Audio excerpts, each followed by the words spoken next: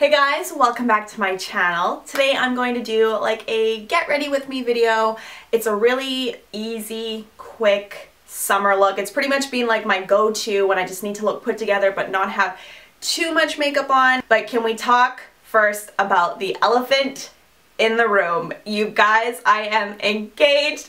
This is the first video that I am filming since it all went down. I'm sure by now you have seen my proposal video. If not, there will be links. Uh, check my description box. I put those videos out yesterday, so I put the main proposal on this channel, and I've also started a vlog channel, so the behind the scenes is over there. Uh, my new channel is called Life with Trina. Again, I'll be sure to link everything for you guys. But I I have not stopped smiling since I put that video out yesterday morning because your guys' messages have been so nice. Before I get a little bit too mushy, I just want to say thank you because there's no way I can respond to all of you guys, but seriously, from the bottom of my heart, I love you guys and it's just been amazing since it all happened. So I'm going to start this off by prepping my skin with this new moisturizer from Biotherm. I love this bottle. This color is amazing. Um, it's called Aquasource Everplump and the reason why I really wanted to give this a go is because lately my favorite foundation to use is the L'Oreal Infallible Pro Matte. The only problem I have with it is obviously how drying it is. So I feel like I need something a little bit more hydrating and this is supposed to plump your skin, which I thought would be amazing. I'm to start with a little bit on the cheeks and it's very light. I actually thought it would be thicker. I actually like the feeling of this. This is supposed to plump, smooth, and moisturize your face and it's good for all skin types. It has a very silky texture. It almost feels like you applied a moisturizer and primer in one, which I feel like will make your makeup go on a lot smoother. And it sets pretty quickly. Yeah, the smell, you guys, I love the smell. and bring some on my neck. So on top of that, I'm going to apply one thin layer of the Makeup Forever Water Blend. And I just feel like this, number one, I love because it's waterproof, but it adds a little bit of hydration back into the skin because it's water-based. So last time, a lot of you guys freaked out at me that I used a sponge, and I was like, you guys, it is personal preference, however you prefer to put your makeup on. But for today, I will use a brush to start. I actually like it with a uh, sponge. I feel like it just does the job really quickly and it doesn't soak up too much product, but... And this foundation really isn't for coverage, it's more so just to smooth everything out and make everything look even. And I just feel like it's a really nice base if you're putting another foundation on top. Okay, so now over top of that, I'm to apply a little bit of the L'Oreal mattifying foundation. And I don't know where this blemish came from, but it just does not want to go away. So we're just to have to work with that today. Just to apply most of the product to my cheeks because that's where my skin's the most uneven and the chin. Then go back in with the sponge. And that's it. I feel like I have a pretty good base on. It's not too heavy because I'll apply a little bit of concealer in a little bit. But to set this, just a very light application, I'm going to use my Maybelline Fit Me Matte and Poreless Powder and just kind of tap it onto the forehead, the areas where the oil tends to come through more. Alright, now it's time for brows because I do not like to do my makeup without having my brows on to frame my face. For this, I'm using the NYX Sculpt and Highlight Pencil. The only flaw about this product is it doesn't have a spoolie on it. On the other end, it's a cream product to highlight on your brow bone. It's great, but I feel like um, I just, well, you have to use two products. So for this, I'm just going to brush them up with the SL Miss Glam Brow Spoolie. But I actually don't mind this pencil. I feel like the color really works for me. It's brunette. And I can make them really natural with this or super defined. For my eyeshadow base, I'm going to use the Maybelline Color Tattoo in Bad to the Bronze. And this is, yeah, again, it's a little bit more bronzy. I'm going to be placing a gold over top, but this is more so just to prevent any creasing and, yeah, keep the shadow on there. I'm actually skipping eyeshadow and using a highlighter. This has literally been my go-to gold for the last little while. It's from the Makeup Forever Pro Sculpting Duo. It just makes me feel all glowy. So I just apply a little bit of that on top of the lid. Nothing special, just using a big fat blending brush and applying it over top of my base. And now for the crease, I'm going into my Too Faced Semi Sweet Chocolate Bar palette. And what I like to use is Mousse because it's a matte brown, but it's not too dark.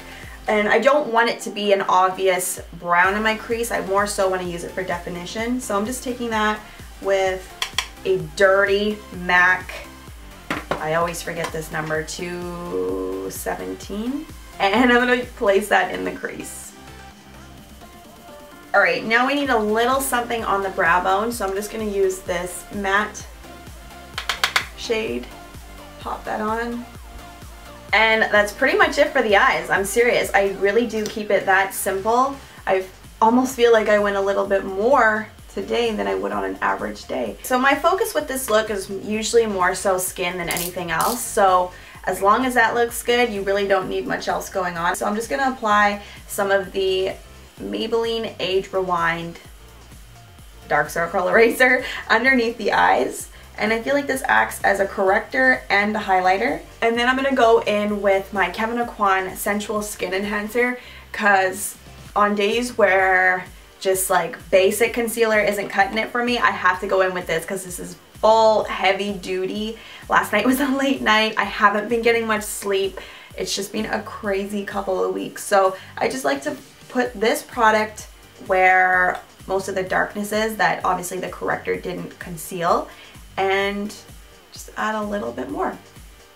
Now I gotta set this because this cannot move. I got places to be tonight, so I'm just gonna lightly set it. I love this brush, by the way. This is the SL Miss Glam Expert Face Brush number W10 because it's so big and fluffy and it just covers a bunch of space all at once. Now for bronzer, I cannot I cannot live without my Hoola bronzer from Benefit. I just bring it up onto the cheeks, temples, the hairline.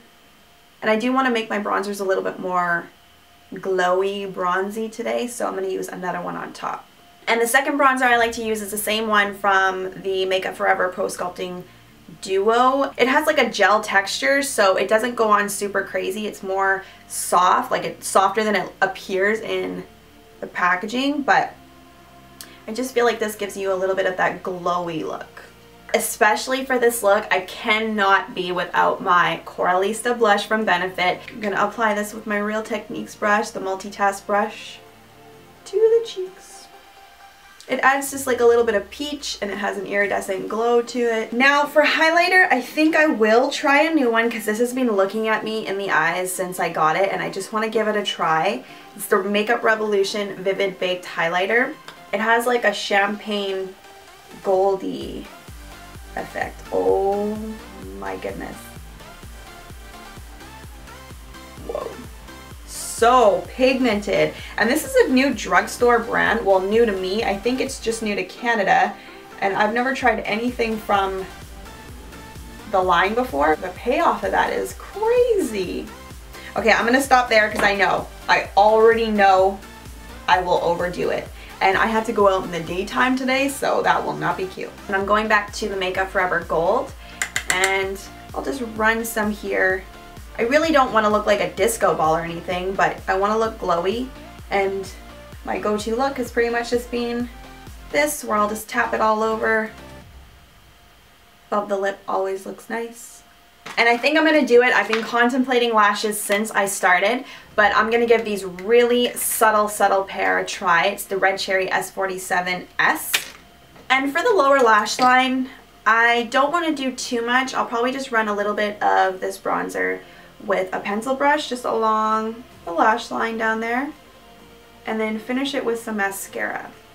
Now to finish off this whole look, you already know Kevyn Aucoin lip liner in medium to lightly line my lips. Normally I do like a really red lip with this. The uh, Spicy Anastasia liquid lipstick. I love that for this look, but because I'm going to be wearing a shirt that's a little bit, I think it's like army color, I'm going to try more of an orangey red.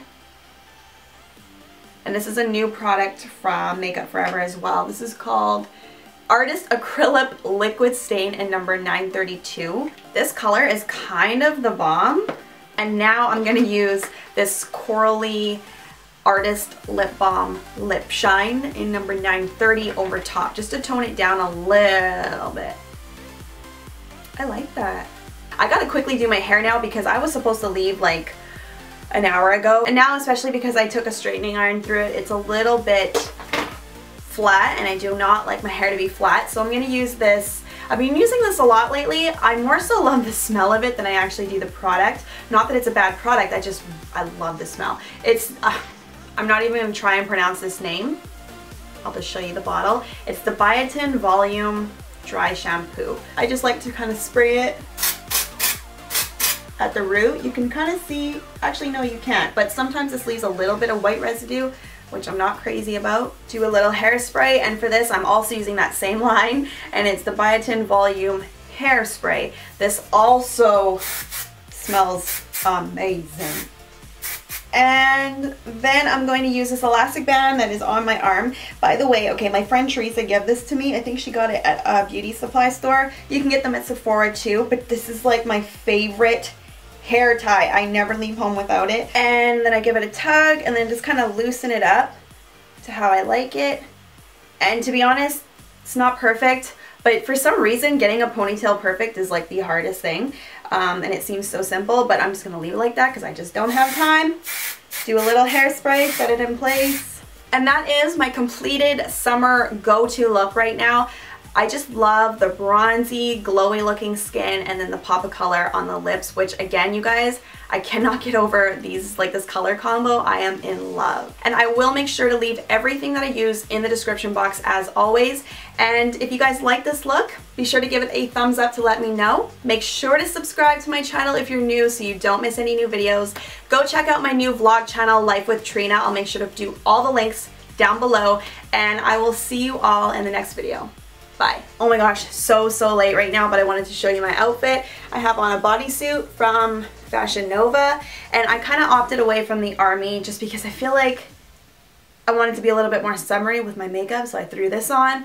And I have on some just black pants from Aritzia, and I got my gold purse from Evernew, and that is it. I hope you guys like this video. See you in the next one. Bye, I'm so late.